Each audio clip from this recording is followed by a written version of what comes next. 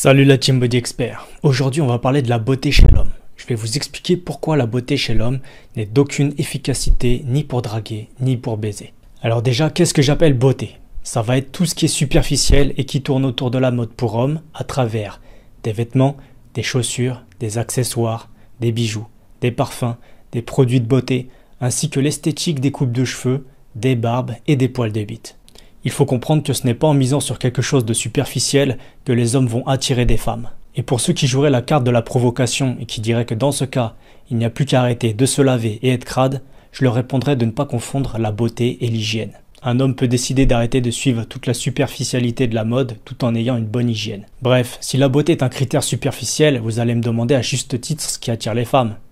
Le pouvoir d'attraction se décline en trois facteurs. La force physique, l'intelligence et l'argent. Les femmes cherchent des hommes plus forts physiquement et mentalement pour qu'ils soient capables de résoudre tous leurs problèmes physiques, intellectuels et financiers. Répondez à au moins un de ces trois critères et vous avez l'assurance de plaire à une femme.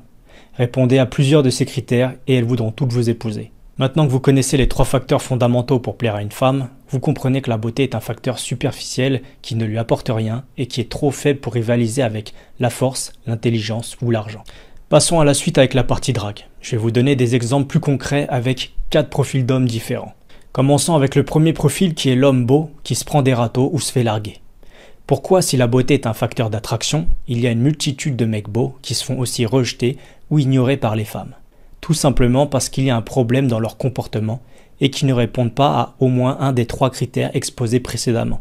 Les mecs peuvent être les plus beaux possibles si selon les critères de la femme, ils ne sont pas suffisamment intelligents, n'ont pas suffisamment l'air d'inspirer la force ou la sécurité, ou n'ont pas suffisamment de thunes, bah les femmes les dégagent comme n'importe quel paria.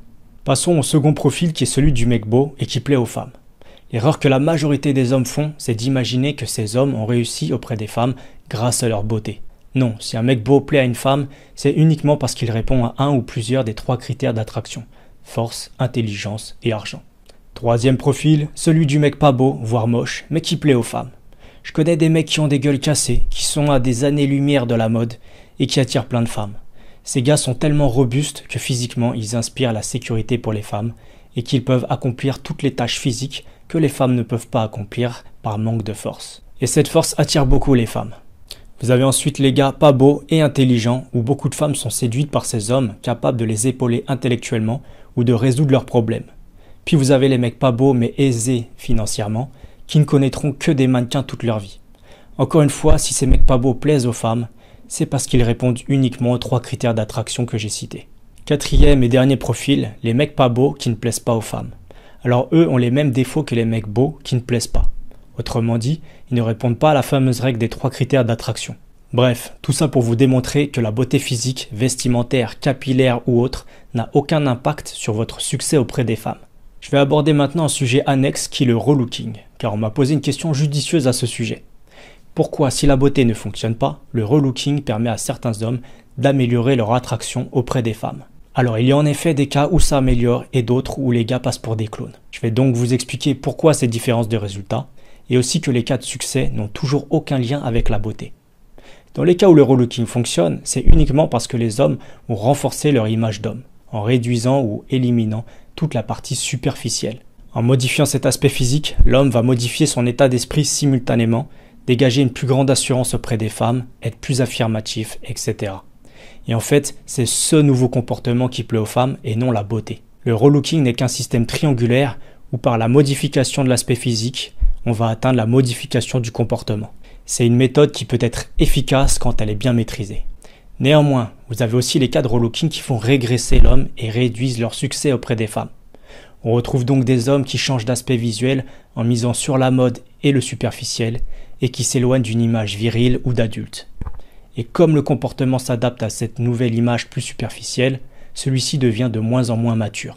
Et ces deux points repoussent les femmes. Donc voilà, maintenant vous savez tout sur les mécanismes du relooking. Passons désormais à ma spécialité qui est la baise. En quoi la beauté va vous aider à être plus performant? Bah, J'ai la réponse, en rien. Ça ne vous aidera ni à être plus endurant, ni à procurer de meilleurs orgasmes, ni à rien d'autre.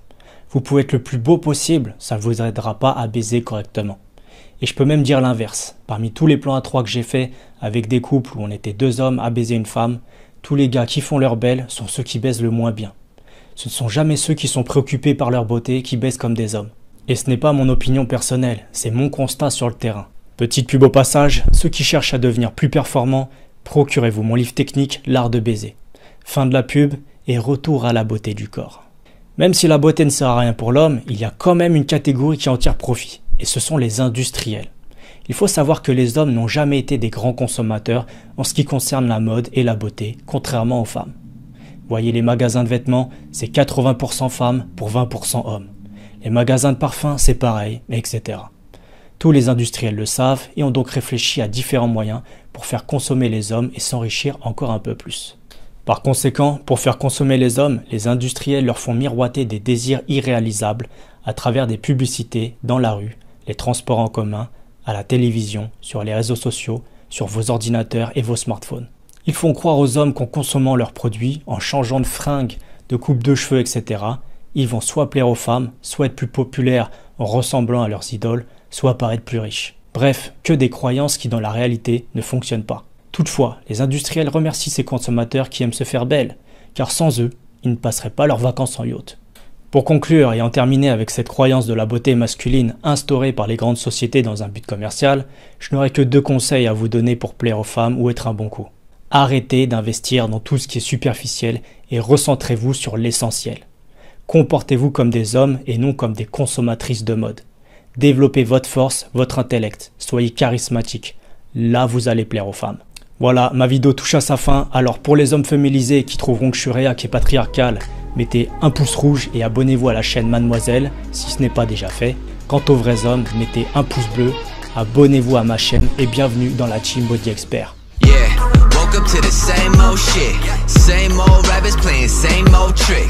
same old habits with the same old stitch in the arrow splits big as egg rolls bitch I don't care.